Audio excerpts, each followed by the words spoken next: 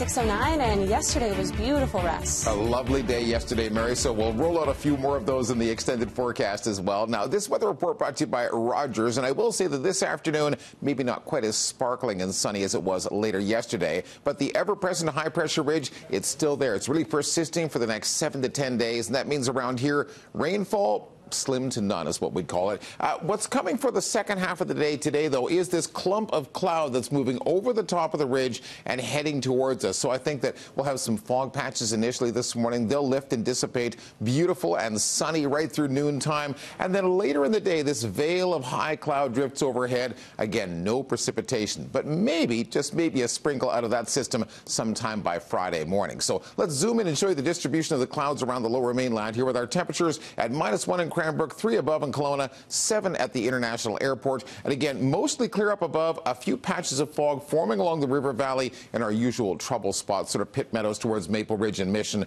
and also hugging the coastline and down towards Tsawwassen and Ladner, parts of Richmond as well. So the fog is only featured in the early morning forecast. Things will brighten up nicely, sunny and 14 degrees for lunchtime, and then that veil of higher cloud drifts in to wrap up the day. But it is dry all of today, 16 degrees.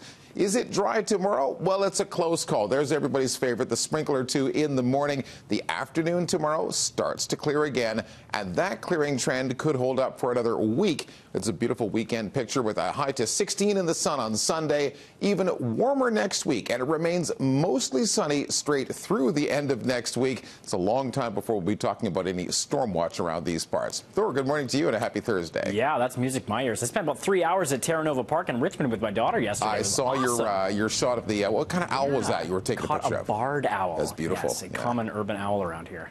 Fun fact. All right, thanks for us. We'll take a look at the traffic details. We had an earlier crash on Highway 17 in Surrey that had closed the westbound uh, uh, traffic there between 104th Avenue and 136th Street, but it is reopened once again, so good news there. And no other reported problems at this time. Let's take a look at the uh, volume uh, beginning to the Massey Tunnel approach for the 99 northbound as you head out of Delta.